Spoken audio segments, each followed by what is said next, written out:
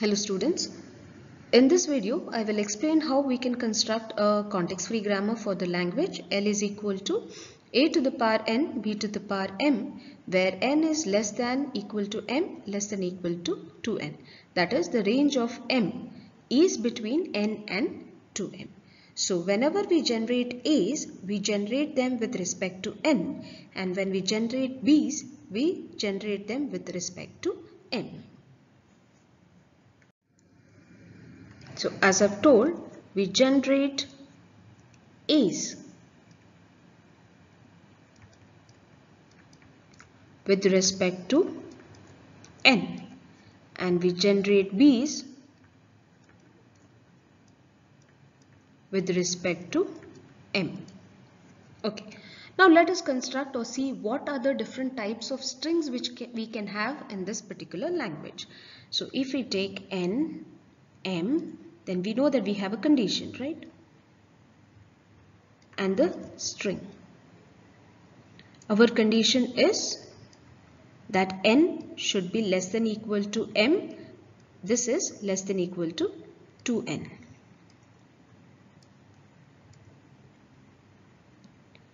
Now we take uh, n is equal to 0 as well as m equal to 0. So we have the condition n less than equal to m less than equal to 2n. So is the condition satisfied? Yes, the condition is satisfied. So what is the string which is generated? It is epsilon. So we can consider epsilon as our minimum string. Next, I'll just consider n equal to 0 but m equal to 1. So it will be 0 less than equal to 1 less than equal to 0. Is the condition satisfied? The condition is not satisfied. So we cannot have a string which is generated. This condition is not satisfied. Next I'll uh, take n is equal to 1 and m is equal to 0. So we get a condition as 1 less than equal to 0 less than equal to 2. So we can see that this is also not correct. So we cannot generate a string in this case.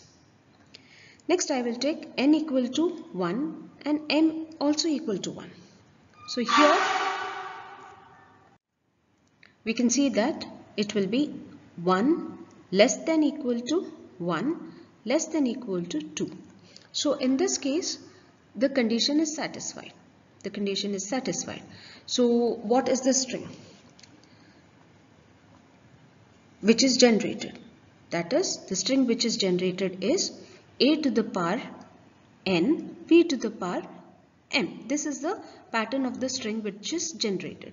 Now both in this case, in the fourth case, n and m is equal to 1. Therefore it will be a power 1 b power 1 and that is equal to ab. The string ab is generated.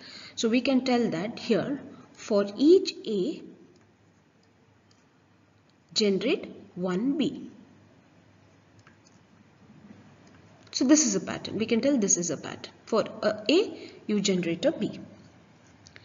Next we shall take N as 1 and M as 2.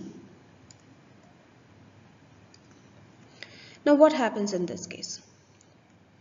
N is 1 less than equal to M is 2 less than equal to 2. Is the condition satisfied? Yes, it is satisfied. So now we have a to the power n that is a raised to 1 b to the power m that is b raised to power 0. So we have strings which are generated as ABB. So we can tell that for each A generate 2 B's or generate a pair of B's. Next, if we take n as 1 and m as 3, so it will be 1 less than equal to 3. This is right. Less than equal to 2. So we can tell that this condition is false. So no string is generated. Now we can be very sure that any value, if the value of m is greater than or equal to 3, then we will not be able to generate any strings. Now I'll increment the value of n. So here we get 2 less than equal to 0 less than equal to 4. We can tell that the condition fails so no string is generated. Next I'll increment the value of m to 1. So we get 2 less than equal to 1 less than equal to 4. Here also there is no string which is generated. Next I'll increment this value to 2.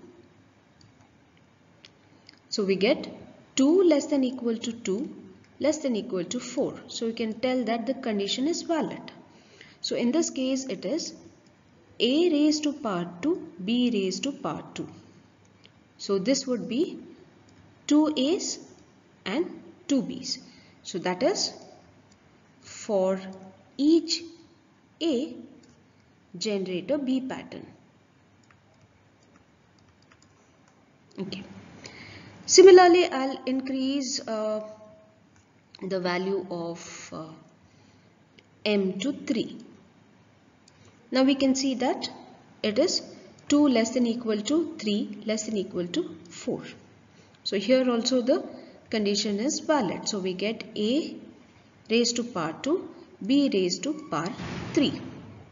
So this follows the pattern as AA, BB, B. So you can tell for uh, for a A you can have a pair of B's and for a A you generate the corresponding B. So there are two patterns. You can see that there are two patterns which we observe in this language. That is for a A generate its corresponding B and uh, for a A generate a pair of B's. These are the two patterns which we observe in this particular language. I have rewritten the patterns here. That is, in this case it is for every A, one B is generated. In this case it is for every A, a pair of B's, it is, B's are generated. Here it is for every A, one B is generated. In this case we can consider for every A, a pair of B's are generated and then for every A, a single B is generated. So we can observe that there were two patterns which uh, were uh, seen in the uh, types of the strings of the language that is either for every A a B was generated or for every A a pair of B's were generated. So while writing the rules we can write one rule for the minimum string. Therefore we have one rule as S tends to epsilon. This is for the minimum string. Then we can write one rule for this pattern. But we know that this is called recursively. This pattern is called recursively. So we write as for every A, one B is generated and this pattern can be called recursively by using a recursive variable S. And uh, we write S tends to ASB as our rule. The next pattern which we see is for every A, two B's have to be generated. So for every A, two b's have to be generated and then if this has to be called recursively we make use of a recursive variable s which is called n number of times. So there are three rules for uh, this particular uh, grammar that is s tends to epsilon, s tends to asb and s tends to asbb. So we can conclude by writing g is equal to